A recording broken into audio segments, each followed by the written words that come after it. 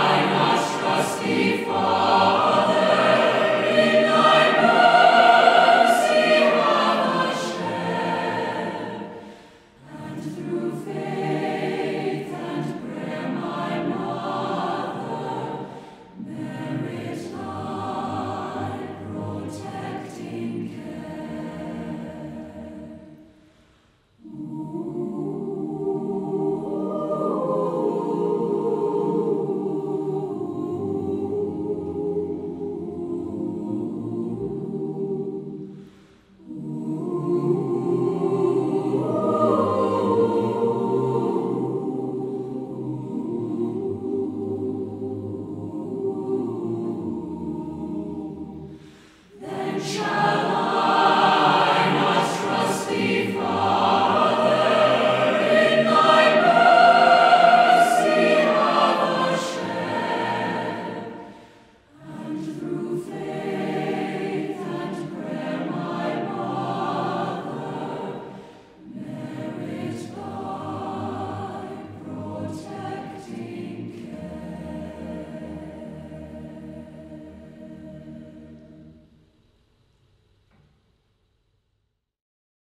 Hi, my name is Charlie Peranto, and I work in the Student Life Department here at CMU.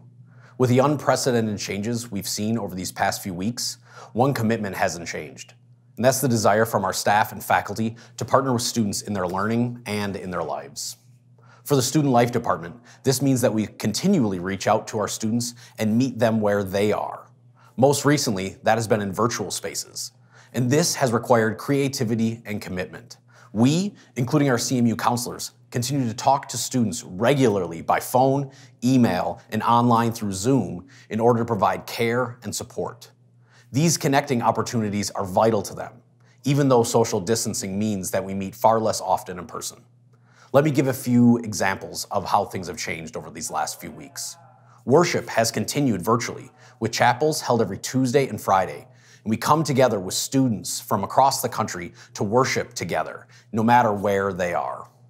Our athletics department is offering online fitness classes twice a week, and just this week, the athletics banquet was held virtually, and we are able to give our student athletes the recogni- recognition that they deserve for their fantastic achievements this year. We have also noticed that our international students uh, are gathering in these virtual spaces. Their Thursday lunch gatherings remain an important connection space for them, even doing it online. During these times, international students share the impact of COVID 19 on their families, their home countries, and on their personal lives. We find it so encouraging to see our students still reaching out for connection. You should know that two weeks ago, we closed our dormitory and asked that all of our domestic students uh, to return back home so that we could provide safe housing for and social distancing for those who couldn't return home. This, uh, this overwhelming uh, response, the overwhelming response from our students was one of gratitude for CMU prioritizing their safety. They knew that even though we are not able to gather together in person, the community that we built would be able to endure these changes. As of today, we continue to support the nearly 100 students and families who do continue to live on our campus in apartments. So, in short, in spite of the many changes, faculty and staff continue to walk alongside our on campus students, our commuter students, student athletes, and our international students. It's just part of the mission of CMU, and I feel privileged to be able to do so. Hello, everyone. My name is Inda Piroli.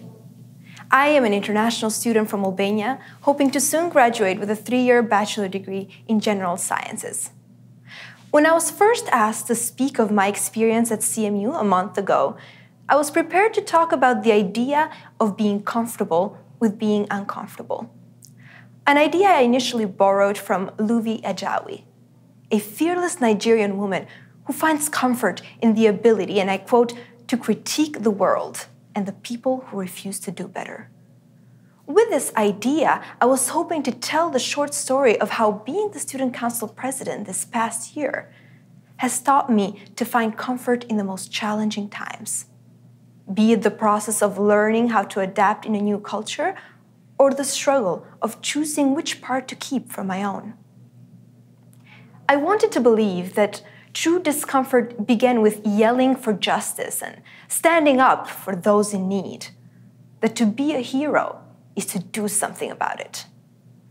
But today, standing here in front of a camera, alone, two meters away from Daryl Neustaedter Barg, one of my instructors as well as CMU's media production coordinator, I realize that this confinement is too small of a box for discomfort to be in, and that heroes look a lot like Daryl, present and yet far away. As I and every single person in this world are being asked to redesign and reimagine our lives during this rise of the pandemic, I find that the best kind of discomfort we need to pursue is the aspiration for hope, the aspiration for a new kind of normal. As my professor, Tim Rogalsky, always writes, in this together. Stay well. Hello, my name is Cheryl Pauls, and I serve as president of Canadian Mennonite University. Come along with me into a biblical story through a gem that's nestled between grand confessional statements of Hebrews 11 and 12. The story goes like this Miriam, the sister of a baby named Moses, was touched by his beauty and chose not to be afraid and went and hid him in the bulrushes. That is, she saw that he was beautiful and chose not to be afraid of the king's edict, so followed through on a rather unusual path. She watched, an urgency of heart in her throat, yet waiting patiently. She had no idea or control of what we know happened next. An Egyptian princess came by and found the basket in the bulrushes. And the princess was touched by the baby's beauty, chose not to be afraid of what her father might think, and provided a safe space for the child to grow up as her adopted son. Many years later, Moses himself was touched by the beauty of an oppressed people, chose not to be afraid of losing personal security and success, and followed the path that emerged before him to stand up for the welfare of this group. My prayer is that everyone who connects through CMU in this time and always would be touched by whatever is beautiful, choose not to be afraid, and follow paths that emerge with grace and raw courage. Over the next few minutes, I'm going to chat with some students. The beauty of who they are touches me and helps me choose not to be afraid in trusting that God's goodness goes on. First, I'll meet with two students by shouting up at a window from a front lawn. You'll get why. And then I'll meet five more students over Zoom. For some context on the first ones, a few days ago, CMU's out of town group of 43 came home from Guatemala, thanks to a grand effort of the Canadian government. Now, they're all self isolating for 14 days, although some are in groups of two. So here goes. Hey, hi! Good evening. Here we are at 206 Home Street. And up there on the third floor is Miriam Hubner and Carol LeBlanc. And they're on day four of self isolating. And they're re- reserved only to the third floor in that house for 14 days. So after their um, dramatic return from Guatemala four days ago, can you give us some tips on what it is to self isolate? Um, I think our number one tip is to make a schedule the night before so you don't have to think of uh, what to do on the spot the next day. It's also, we found it good to do yoga because then we can still get some exercise even though we're not allowed to go outside. Hey, that sounds great. So tell us something that you loved about Guatemala and especially something that you wish would happen here in Canada more. Uh, I really liked the public transit and it was really easy to use. And a lot of people also would walk in Guatemala. And I think that's a lot nicer than using cars. And I wish we could do it here, but it's kind of hard with our weather.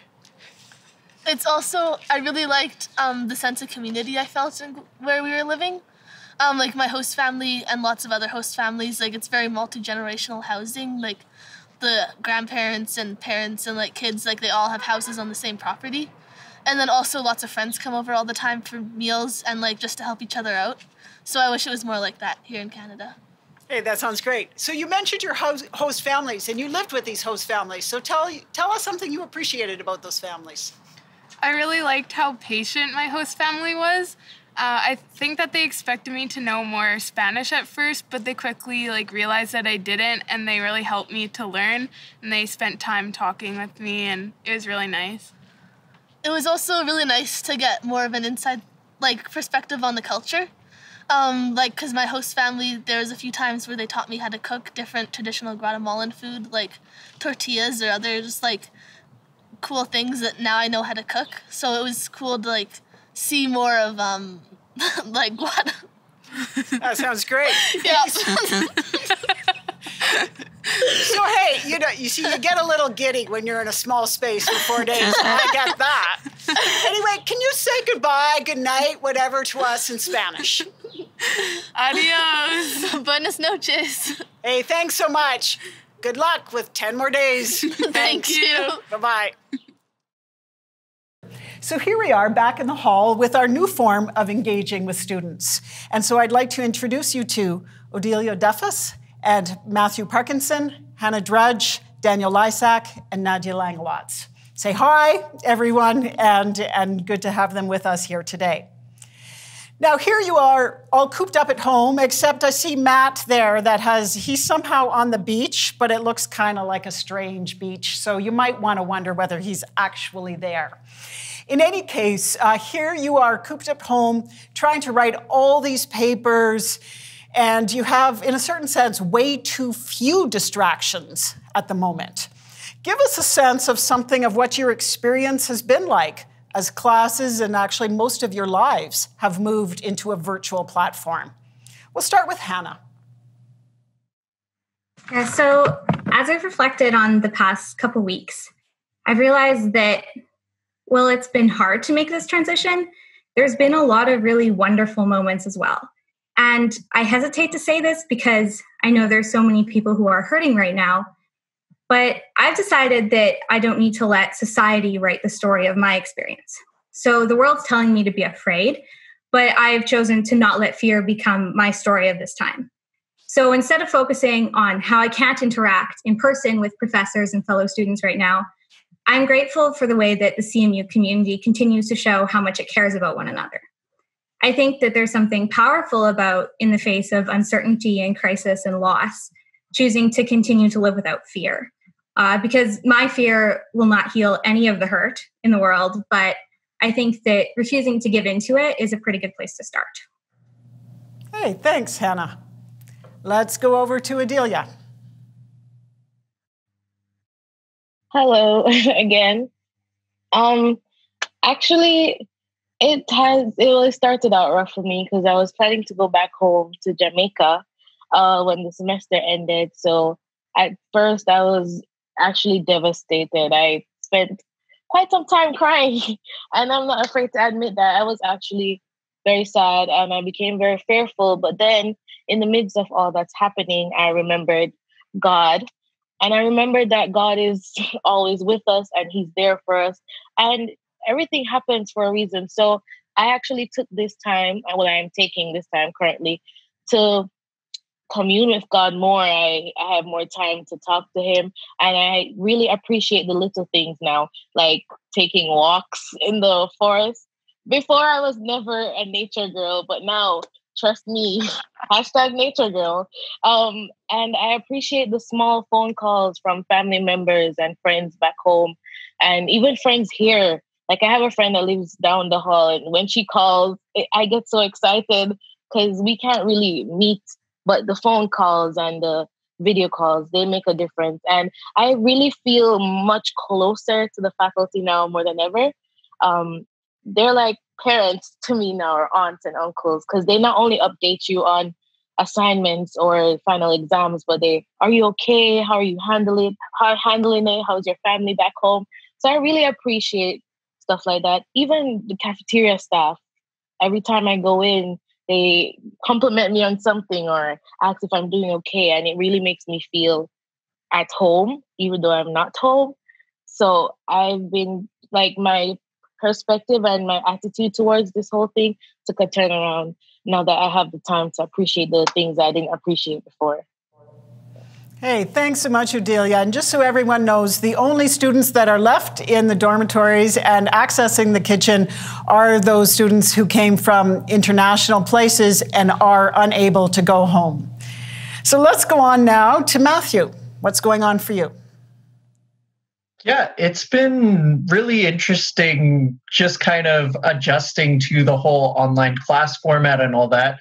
I definitely find that rather than being sad about not having school anymore at CMU itself, it's definitely nice. Now I can get up 15 minutes before class and just turn on my computer and I am in class.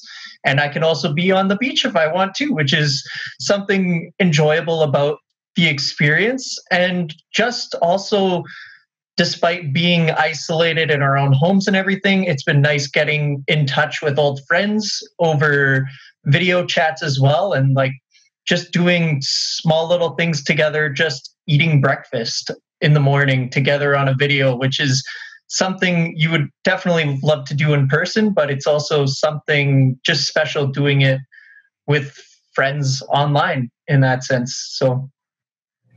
Hey thanks so much matt. Let's go on to nadia I think during this transition, one of the biggest things I've become more attuned to is the kind of touch that extends beyond physical touch, because obviously that's been restricted. Um, and maybe more precisely, the ways I've felt physically touched without actually being touched. And this happens every day when I walk across the street to Vimy Ridge Park and I sit on the same picnic table and I just allow the sunlight to touch me. And I can feel it the sun, the heat, the birth of spring. And I think we're all feeling it. It's why at eight in the morning when I go for a run, almost the whole city is outside. Thanks so much. And uh, Daniel. Yeah, so this transition to online classes has certainly been different, and it's it's no um, it's no secret that there's some part of the classroom atmosphere that we're certainly losing in that switch. But I think that a transition away from a physical classroom has also opened up some other opportunities that otherwise would have remained closed. And so one of my seminar style classes, while our class discussion has moved entirely to a online forum format where we type our responses to the readings we've done for the past week, we now spend some of that class time where we would have been in class just talking about things outside of school, talking about how the family dynamics have changed now that everyone's coming home. For some of the people in the class, they have children, talking about how what it's like having to do schoolwork with the children at home all the time. Talking to the professors about how their lives are going and how this has been difficult for them. And that's something that you wouldn't do in a standard classroom. It's something that in a standard classroom, you're there to talk about school. But I think that this, although definitely tragedy, has been an opportunity to connect on different levels that perhaps we wouldn't have not gotten to otherwise. Hey, thanks. So, to draw the last two together, a personal touch that is actually happening in more ways through this virtual context. I want everyone to also note that every single person has learned their etiquette of putting on mute when you're not speaking and then just turning on your sound when you are speaking. That's an important skill if you're going to move into a Zoom context for those of you who aren't there yet. So let's go on to another question here. At some point, we trust that the pandemic will end. In the days and years that follow, renewed ways of thinking and doing will be critical to the shape of life and to the quality of livelihood for everyone. So the question is where do you see yourself in terms of the people you might bring together over the next months and years to think about the well being of society as a whole? What kind of hope do you see as a way forward into a restored reality? So let's begin with Matthew on this one. Um, something I've been thinking of in kind of the weeks and the years to come is just looking at how our globally the entire world kind of came together around this issue and how we've all kind of worked together to prevent the spread of the virus any farther and just trying to work together in a global community, which is awesome. And for the future, for myself, I would love to bring together and build that global community farther. And right now, working with some people in Australia, I hope to bring together some youth either from Australia as well as Canada in the future and go do a missions trip somewhere. So that's where my energies are focused. This summer is just kind of wait and see, but hopefully by next year will be something kind of tangible going into the summer of 2021. So, hey, thank you. And how about for you, Adelia? Oh, well, for me, I'm kind of focused on a more spiritual or a mental, uh, holistic well being. Um, during a time like this, uh, everybody needs a savior. Everybody's looking for someone to turn to when everything else seems uh, dismal or everything seems like it, it's all going wrong. And I feel like CMU could be the center of that. Um, I realize uh, that globally, all countries are coming together to pray. Um, we're all coming together to support each other. And I feel like that's something we should carry on even after the virus is contained. Um, the fact that we're supporting and we are building unity through this whole pandemic, it's really um, touching, honestly, because I don't feel alone, and I'm sure many other people don't feel alone too. Because all countries, I uh, especially here, I feel like we're all doing something to ensure that those who are without, and even those who have, um, are maintained or they're happy in some sense. Um, also, I appreciate the way that we are treating the environment at the moment, and I feel like um, on a journey to a restored reality, that could be something that we keep up. Um, respecting each other's space, practicing proper hygiene. Those are things that I feel like will, you know, help restore reality in a more positive way than we are we have been doing in the past. Hmm, thank you. And Nadia. I think my greatest hope is that we become more attentive or remain attentive to space. And this attentiveness will probably look different for all of us, but I I I hope we don't lose the possibility of it. And across all of our differences, I think one of the important questions is where has God entered into this space with us and how? And when we arise from this sort of wilderness, I hope we have a collective understanding of the grace that's inherent to empty space, um, the gift of being lost, if only to be found again. So I guess my hope would be that we are found by each other and by God. Hey, thanks to all five of you. These have been really beautiful responses. And so, this whole sense of because something is beautiful, we choose not to be afraid. And Hannah beginning with uh, not being fearful. Um, these were beautiful messages. And so you've nourished my sense of how not to be afraid. And I trust you have been for our audience today as well. So, blessings to all of you. Thanks for taking this time. All the best as you go back to all that writing in those small spaces, including Matt's beach small space and um, look forward to being together in live spaces again sometime before too many months. Take care. God bless. Over the past few weeks, faculty and staff have worked around the clock to put their courses online. And today, I'm joined by Wendy Kroeker, Assistant Professor of PACTS, Peace and Conflict Transformation Studies, and Paul Dyck, Professor of English uh, who are going to talk a little bit about the experience of teaching and learning during this time. So I- I'm wondering if you both could tell me a little bit about how you brought your courses online and how you brought students into that learning environment. I'll start, John. Um, a way that uh, I got going on it was to use Zoom, which is a platform I already was familiar with, so I could just get going on it. So it was a normal for me. And then I tried to think, how can I structure still so that the class feels normal with the kind of things we do? We talk in groups. Uh, I make presentations, they make presentations, but yet, although we said normal, people would lean in close to the screen and really say what was on their hearts. And so we had a mixture of normal and a kind of new intimacy and urgency in the class. Paul? Uh, I set up a Moodle site uh, where we can together post questions and project ideas and respond to each other's ideas. Uh, and I'm also using, like Wendy, I'm using Zoom, uh, where I can teach in real time and we can all see each other and uh, talk face to face. Like we're doing here.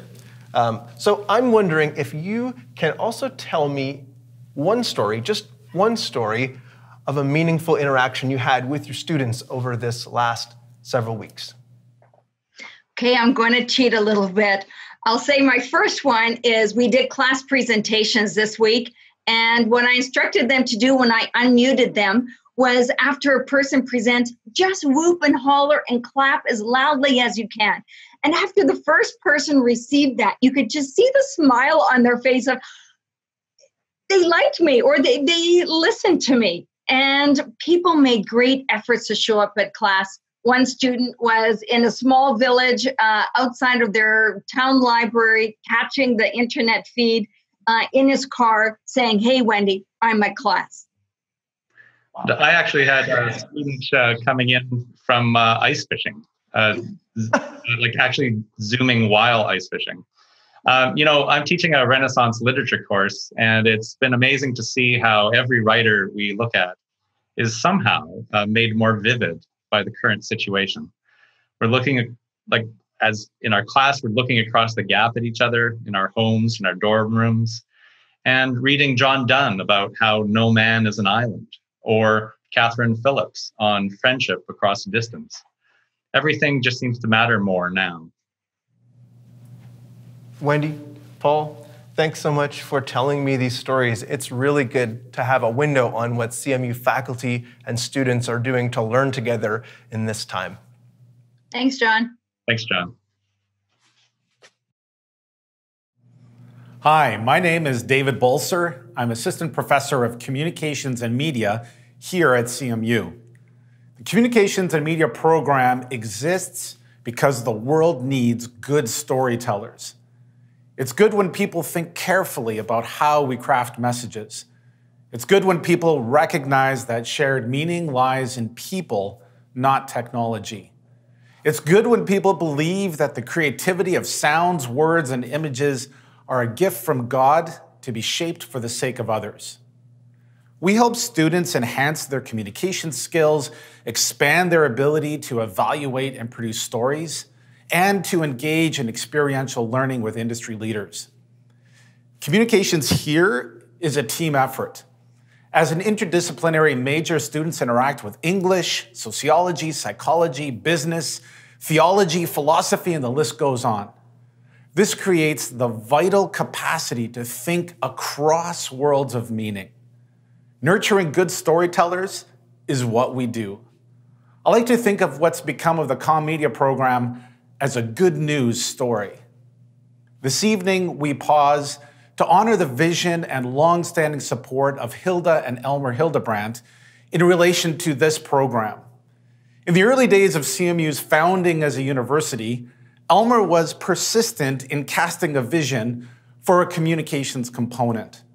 That persistence was coupled with an open hearted financial generosity to see the vision come to life. I heard the vision put to me this way Can we put faith informed students into Canada's newsrooms? And throughout the past decade, that vision has taken shape and taken root. I have found it incredibly inspiring when Elmer has said to me, the legacy of our support will only be fully known after we're gone. Thank you, Elmer and Hilda. May God honor your vision today and tomorrow. Coming up next are two videos. The first is entitled Communications and Media Graduates Out There. In mid February, CMU's videographer Daryl Neustaedter Barg and I hit the road across Manitoba we wanted to catch glimpses of communications and media grads out there in their places of work and service. These are just a taste of what has taken root and flourished. And then immediately following the stories of graduates out there, you'll meet Chloe Friesen, a third year communications and media major from Morden, Manitoba, who is still here. She reflects on her current experience as a student. And you need to know that Chloe wrote, captured, and produced her entire piece. So let's head out onto the road and meet some of those graduates.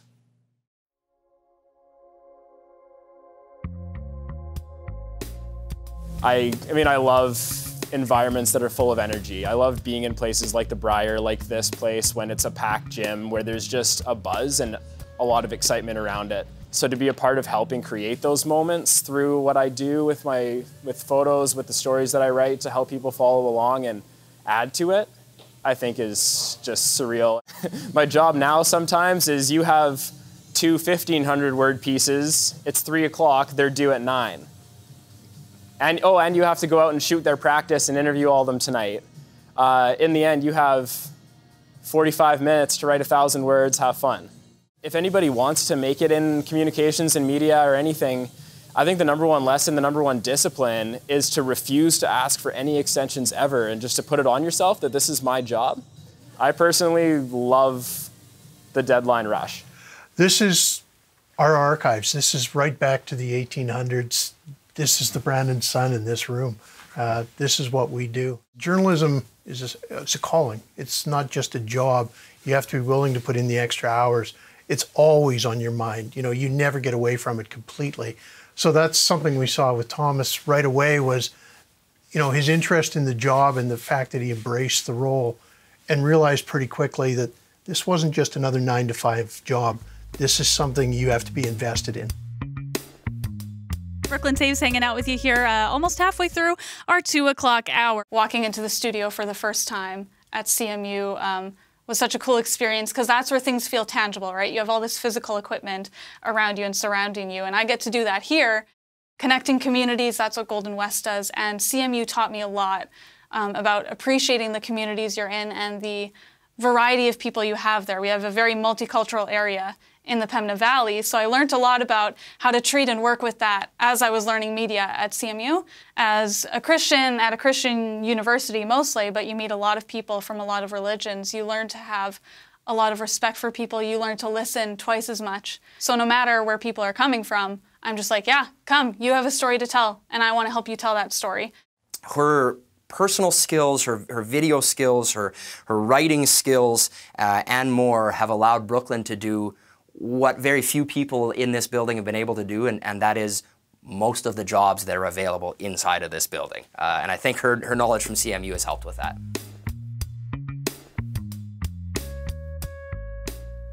It's weird, but almost every single class I've taken in terms of practical communication at CMU has applied itself to ministry.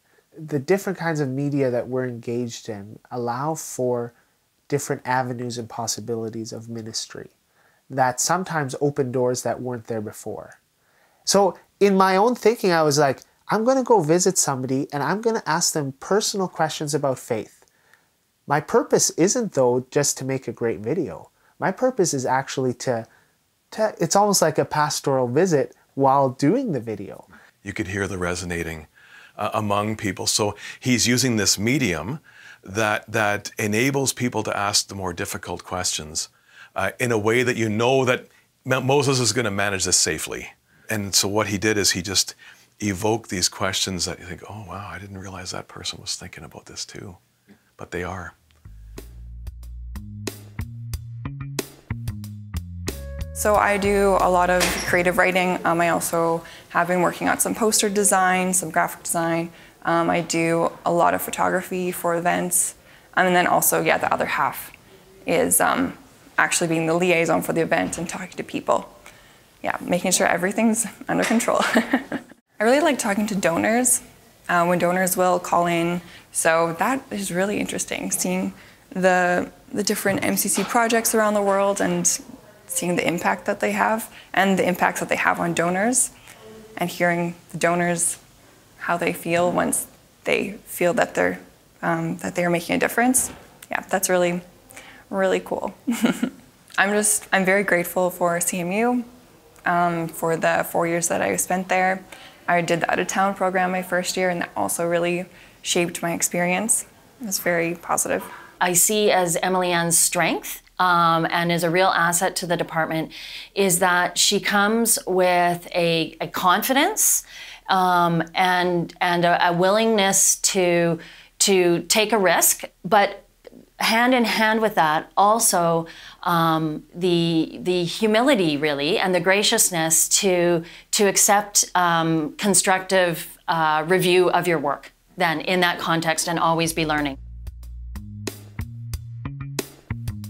while I was attending CMU before I got the practicum, I don't think it's something that I would have even dreamed of because it just seemed too far out there and um, something that seemed like it should have come further down the road. So I feel really honestly quite blessed. A frequent thought that comes up from my studies at CMU would be uh, the thought of uh, telling a compelling story. Um, that's something that came through in a lot of classes, whether it was the radio team classes where we're doing uh, focusing heavily on a few interviews uh, each semester to, to tell a good story, um, or whether that was through uh, the qualitative inquiry class with uh, Rod Rayner. I mean, obviously that shows up when I'm doing interviews for for articles, asking asking good questions that will will take you to a place place that's going to get you the story that you want and uh, the story that's going to be compelling to your readers. What do you got to do to keep this momentum going uh, now that you're you're in your stride? Well, you know, like like I said, keep things quick, keep things simple. Uh, you know, get uh, get our messages deep in the zone, cycled around, um, uh, and make sure we get uh, get some traffic through. Uh, you know, I think that uh, that's the key to our game, and we'll we'll keep going with that. Appreciate this, Jason. Thanks for your time. Anytime, David. Back to you, Mark and Rob, upstairs in the True North management booth. What was kind of the defining moment was uh, Jason's writing ability. Right from the get go, uh, his writing was clear, concise, uh, very little editing, and that's, um, and I mean no disrespect, but that's rare uh, to do with students right out of school. And frankly, he edits my stuff sometimes too and does a great job. So just goes to show uh, the, the, strength of writing that has come from CMU. Uh, but in particular, not to take anything away from Jason, just he, he clearly has a talent and an understanding how to do this. always been like the person that would rather not talk, just sit in the corner, do my work, and just you know live my life kind of thing. But since being at CMU, it kind it, it literally kind of forces you out of that shell because classes are so small. I manage all the social media accounts, so Facebook, Instagram, Twitter, and LinkedIn. When I was told that I would be the voice of APTN, it's it's honestly like I'm excited to be a part of that, but also I'm scared because that's a lot of pressure. but I've been here for about three months now and I love it. It's so cool. I get to talk to and learn about so many new things that I never knew. So she represents APTN, all of us in the company uh, and speaks on our behalf. Um, so, you know, she's a we, not an I, and she uh, interacts with all these communities. When we speak to our audience, we speak as if we're speaking to our elders. Uh, we are respectful. We do have a certain voice that we use, it's our brand, and she grasped that immediately and was fantastic when I would see her responses and I was kind of looking at what was the conversations that were going on. I was not the least bit concerned. I was like, wow, she's really understands this. Thank you, Elmer and Hilda. Uh, it's been a great experience learning at CMU, and I couldn't imagine doing anything else. Thanks for all your, your hard work and your, your vision that you set out for CMU. It's uh, made a big impact on my life, obviously, so um, I hope it uh, continues to impact many lives to come. I'm now working towards my dream job at MCC and loving it. Thank you for, for casting this vision and making opportunities like the one I have now possible. Thank you, Elmer, for a tiny little radio station in Altona uh, that grew into my home in Winkler where I can work with some of the newest technology out there right at home. I don't think anyone could have expected how much the communications and media program would enrich and will enrich the church to come. Thank you for your investment. Hello, everyone. My name is Chloe Friesen, and I'm in my third year of studies at CMU. And as you may have predicted, I am majoring in communications and media studies. The fact that we're celebrating this program, my area of study, brings me so much joy and fills me with endless amounts of gratitude for all of you listening. Let me tell you why. This event, Spring at CMU, is an event all about gifts. Gifts are given, gifts are received, Gifts are celebrated. One of my favorite parts about birthday parties as a kid was the knowledge that I'd get to write a thank you note to every single person who gave me a gift. Maybe I was a strange, strange little kid who really liked gel pens and stationery, or maybe I was born to be a communication student. I prefer to believe the latter. But either way, I knew the moment I was asked to speak today, I couldn't help but make my speech a verbal thank you note to the Communications and Media Program and all who make it possible. Because the number of gifts I've received from the hands of this program is remarkable. So, let me begin. Dear Communications and Media Program, thank you for letting me use my hands as much as I use my head for placing cameras, microphones, brushes, and ink in my backpack, in addition to my books. For creating assignments that I cannot wait to complete, like designing posters, album covers, and magazine spreads. Or hosting radio shows, giving speeches, and debating with my classmates. For believing wholeheartedly in the beautiful truth that we learn by doing. And oftentimes the best lessons come hand in hand with some good old fashioned failure. Dear Communications and Media Program, Thank you for the abundance of opportunities that you provide your students. David Balzer, if you didn't know, is a walking bulletin board full of job postings. I cannot possibly count the amount of times David will begin a class with, So, I've got this job opportunity you might want to consider. It was one of these very opportunities that got me my first job in the communications field. With our good friends at Golden West Radio as a Celebrate Summer host in my home of the Pembina Valley. It was through this opportunity that I completed my practicum by traveling the valley, attending event after event, dancing my way through small town parades, hearing and telling incredible stories, and gaining invaluable experience that I fell in love with radio. Thank you for what you've created, Elmer. Its impact transcends generations and will continue to do so well into the future. Dear Communications and Media Program, thank you for the confidence that you have instilled within me. The Chloe I knew from three years ago, filled to the brim with anxiety and uncertainty, thanks you with all of her heart. These days, standing on a stage or behind a screen, speaking to crowds of beautiful people like yourselves, Creating something, anything, and sending it into the world is what I live for. Dear Communications and Media Program, thank you for allowing me to have a lightness of heart, for teaching me that it's okay to respond to stress with silliness and creativity, that sometimes the easiest way to connect with someone is through laughter. Thank you for letting me check out audio equipment from the library and then use it to chase around geese on campus and then formally publish the video of me making a fool of myself to the entirety of CMU. That's students, staff, and faculty. I am so grateful that you have fostered and encouraged my ability to make others smile. And finally, dear Communications and Media Program, thank you for the lifelong connections you have helped me make with those around me, for turning classmates into friends and professors into mentors for making my campus and classes so very easy to miss. I've never felt more loved, accepted, and supported than I do in this season of my life. Thank you. Thank you for making this all possible. Cheryl Pauls here on air for a second time, and I start with a question. In this time of extreme adversity everywhere, why would CMU invite support for the university? I'll quote Mike Dirksen's response to that question. Mike has graduated from CMU twice with a BA and an MBA, and now is executive director at Generation Rising. He said, The reason they are your donors is because you're solving a big, gigantic problem in the world. If that problem persists and you're going to work at it in the next little while, you owe it to your donors to help fix that problem. That's the reason they are your donors in the first place. So, this evening, we invite you to support CMU because our work of addressing big, gigantic problems in the world goes on. It's likely not our science lab that will invent a vaccine for COVID 19. But the problems of this time go far beyond the virus. They extend into the qualities of mind and heart that hold back a health of livelihood and purpose for all, that hold back the flourishing of the world God so loves. So here's the invitation join with us in nourishing hearts and minds and skills for flourishing as church community meets university education, meets science, meets social entrepreneurship, meets peace and collaborative development, meets communications and media, meets mathematics, meets music, meets Bible and theology, meets the character of students and of surrounding communities.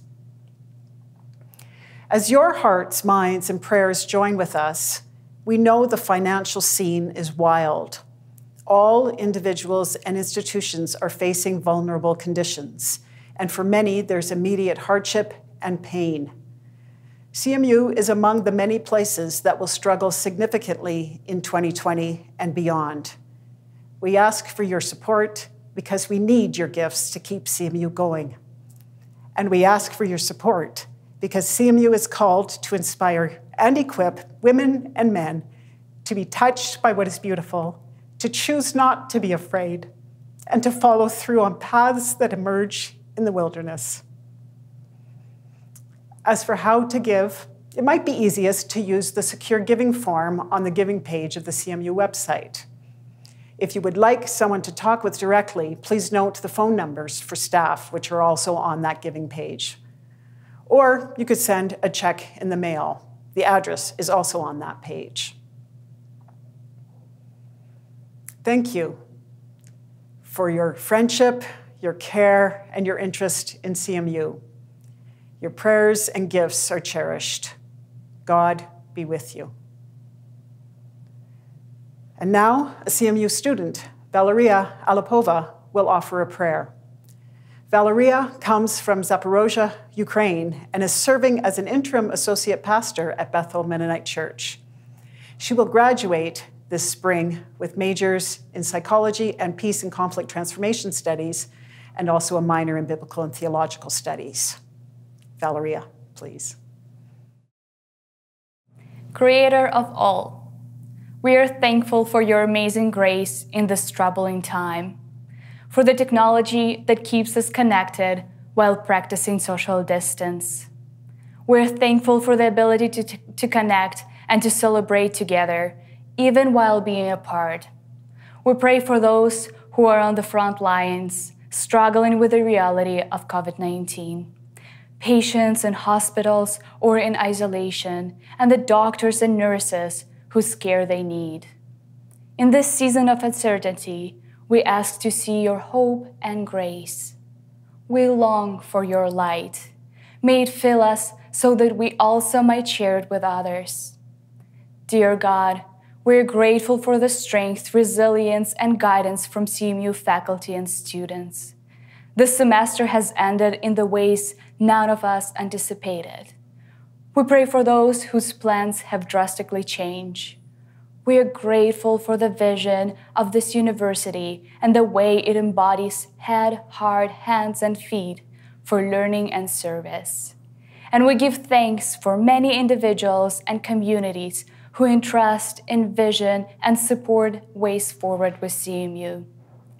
Loving God, in the midst of these challenges, you come to us as a healing river and a rain of blessing. May our eyes continue to see and our hearts continue to know your comforting hand. God of grace, even in this time of uncertainty, hear this prayer of thanks. In Jesus' name we pray. Amen. Thank you for sharing Spring at CMU with us. Thank you for continuing to trust CMU with its mission. Thank you for your prayers and for your financial support. The students, staff, and faculty of CMU are deeply grateful. We conclude our program with a song from the CMU singers. Hear My Cry connects deeply with our present moment. The text of this song comes from Psalm 102 a psalm imploring God's presence in a time of need. It reads Hear my prayer, O Lord, and let my cry come to you. Do not hide your face from me in the day of my distress, but incline your ear to me and answer speedily in the day when I call. Please, choir.